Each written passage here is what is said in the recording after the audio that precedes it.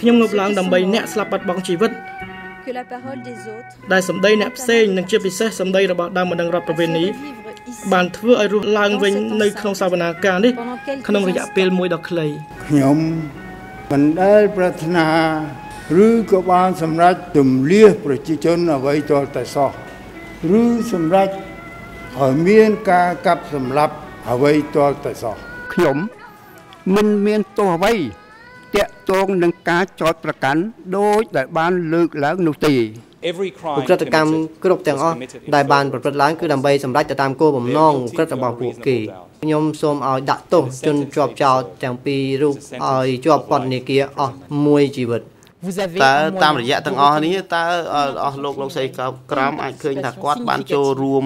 ឬក៏មានមធ្យោបាយអីទេចម្លើយគឺថាអត់មានទេគឺថាត្រូវដោះលែងគាត់ មេធាវីដើមបណ្ដឹងរដ្ឋវិនីសូមធ្វើការស្នើសុំឲ្យអង្គជំនុំជម្រះទទួលស្គាល់ជាផ្លូវការនៅការខូចខាត ដែលបានទទួលរងដោយដើមបណ្ដឹងរដ្ឋវិនី